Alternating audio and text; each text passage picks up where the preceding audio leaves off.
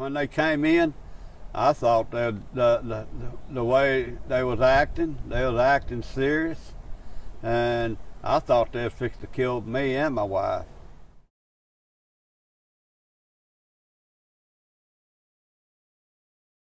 When the bullets came through the house, the bullets literally just went all around them. One went through the couch they were sitting on, and three of them went directly beside where my son was sitting.